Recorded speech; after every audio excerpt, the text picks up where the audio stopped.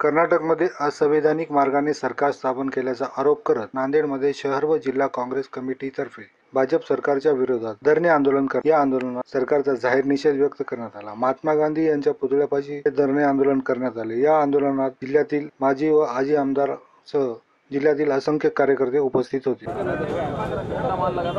आज देशातल्या प्रत्येक नागरिकाला माहिती आहे की आज अखिल भारतीय काँग्रेस कमिटीच्या आमचे अध्यक्ष आमचे नेते राहुलजी गांधी यांच्या आदेशानुसार देशभरामध्ये जिल्ह्याच्या ठिकाणी काँग्रेसचा कार्यकर्ता निदर्शनाला बसलेला आहे सगळ्यांना विनंती आहे की आपण बसून या बाकीचे सगळे गेल्या. चार वर्षामध्ये अनेक या वेळेला. या भाजप सरकारने केंद्रात असो राज्यात असो.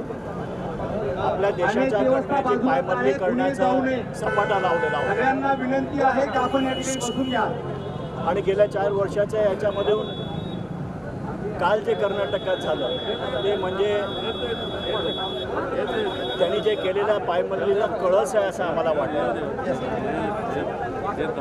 जे मणिपूरमध्ये आणि गोव्यामध्ये जो न्याय दिला त्या न्यायाने कर्नाटकात सुद्धामध्ये त्याच्याला त्या ज्यांच्याकडे जास्त आमदारांची संख्या आहे अशा काँग्रेस आणि जे डी एसला मणिपूर आणि गोव्याच्या न्यायानुसार त्यांनी आमंत्रित करायला पाहिजे होतं. परंतु राज्यपाल जे भाजपचे सक्रिय कार्यकर्ते आर एस एसचे सक्रिय कार्यकर्ते अनेक वर्ष गुजरातमध्ये मंत्रिपद भूषवलेले राज्यपाल त्यांच्यावर भाजप सरकारचा या मोदी सरकारचा प्रचंड असा दबाव आणून आज सगळी घटनेची पाय तत्वे जी आहेत ती पायमध्ये करून त्या लोकांनी कर्नाटकात येडियुरप्पाला गव्हर्नमेंट फॉर्म करण्यासाठी बोलवलं. हे अतिशय लोकशाही विरोधात कृती आज सरकारच्या दबावामुळे झालेली आहे. त्याचा निषेध करण्यासाठी आज आम्ही इथे सगळे जमलेलो आहोत. एकशे पाच आमदार असताना एकशे बाराचा जादू आकडा हे म्हणजे कशा प्रकारे ते करणार आहे?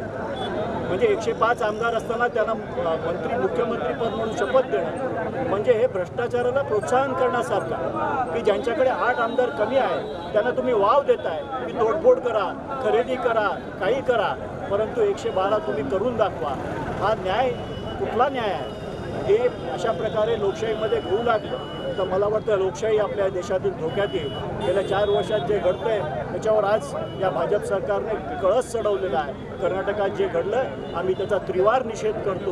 आणि हे परत कधी झालं तर काँग्रेस पक्षाला क- निकाराने याचा विरोध करेल आणि जनतेला माझी विनंती आहे की प्रत्येक नागरिकाने याचा निषेध करावा कारण जे हे घडतंय हे लोकशाही विरोधी आहे आणि हे अशी लोकशाही विरोध असणारा भारताचा संविधान मानणारा नागरिक हे कदापि सहन करणार नाही. आणि म्हणून आज आम्ही काँग्रेसचे सर्व कार्यकर्ते आज इथे निदर्शनाला बसलेलो आहोत.